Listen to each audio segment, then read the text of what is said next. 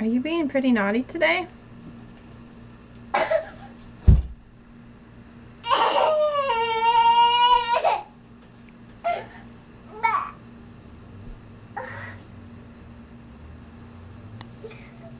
You're being pretty naughty. No.